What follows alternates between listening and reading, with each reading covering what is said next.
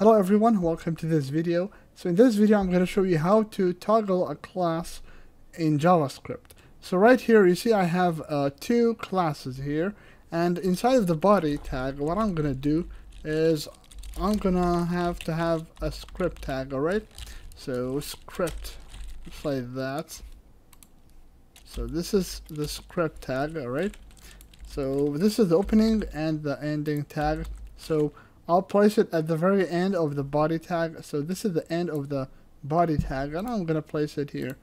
Um, but right now I'll need to, you know, add some tags here to add the to add it to the display. So what I'm gonna do here is that I'm gonna say, uh, for example, H1. All right, and I'm gonna add a class name here. So I'm gonna add the class red here, all right? And I'm gonna say hello world all right so hello world. And now I'm gonna add a button underneath it. All right so add a button and I'm gonna say uh, change class. Or toggle. I should change it to toggle. So toggle class. Alright so now we have two tags. So we have the H1 which is just this text and it has the red um, you know class right here and this is the button so if I click on it nothing happens uh, because we don't have JavaScript. So we'll need to add some uh, you know JavaScript here to get that element and when we click on this button it should change the class.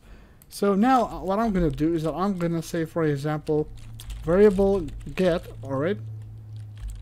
So variable get equals to I'm gonna say for example uh, document dot get uh, actually I'm gonna use the query selector.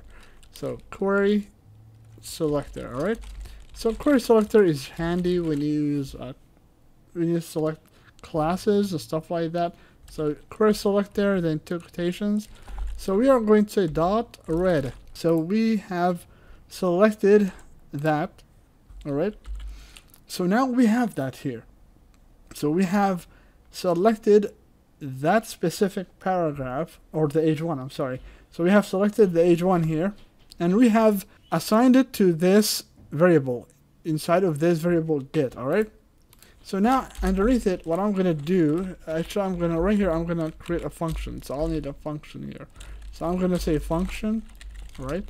So function change, alright? Two parentheses and two curly braces and I'm gonna wrap everything up here. Alright? So I have a function here.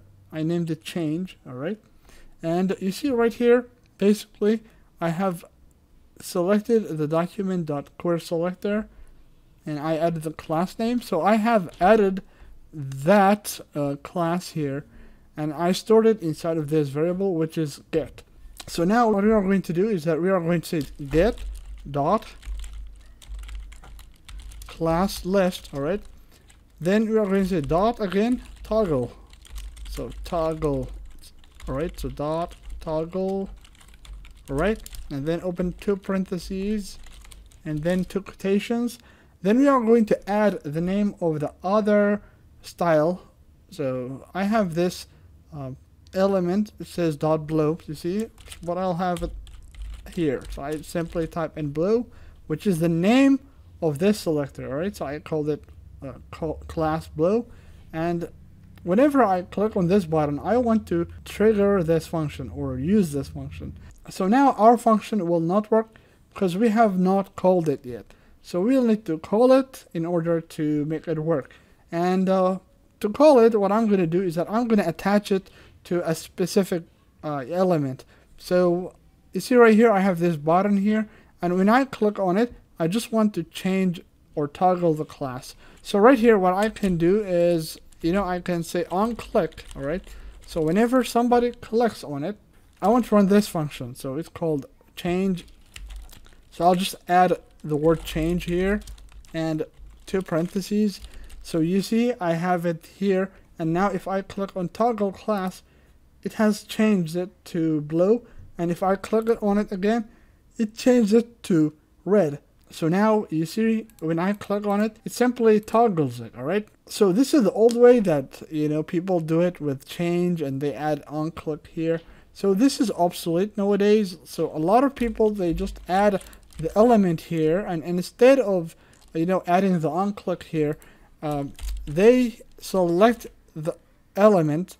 So for example, they type in document, so it can say document, then dot query selector, alright, so query selector, alright, and two parentheses, then two quotations, and I'm gonna simply type in button, because I have one button, alright, and now I'll need to actually save this, so I, I can save this in a variable, but I'm not gonna do that, so I'll just add another dot here and I'm to say add event listener and then two parentheses so I'm to say click alright? So whenever somebody clicks on it then I'm to say comma here and I'm to add the name of the function which is change alright? So now it's the same thing alright? But this is more professional way alright? So this is more professional. So if you know how to use the add event listener um, you know, you'll be more professional. So now if I click on it, you see it does the same thing. And uh, right here, let me explain the add event listener to you. So you see the first thing that we did here is we said document dot query selector button. So now we have simply selected the button and uh, you know I have one button so I just typed in the word button but if I had two or two of them I could have added a class name here, for example. Class, I could have called it um, btn, alright, so button. And right here, I could have changed it to dot btn, alright. So this is the same thing. So, alright, so we have selected that specific uh, button and we simply attached the event listener.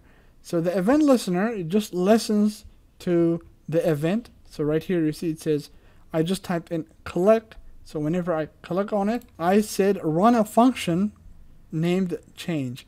And you see change is our function. Alright everybody, so I think this is it for this video. And now you see we are toggling between um, this class and this class. And uh, you know you can change things, for example, font size, you can add things. So font size, for example, 30 pixels, all right, and font dash size, for example, 60 pixels. So you see how we toggle between the two classes here, all right. So it's not just the color, but you change, you know, the class, all right, from red to blue, all right. So I hope this video was helpful. Uh, just you know, practice and. Uh, if you have any questions, please leave them in the comments below. So thanks for watching everyone and I'll see you all in the next video.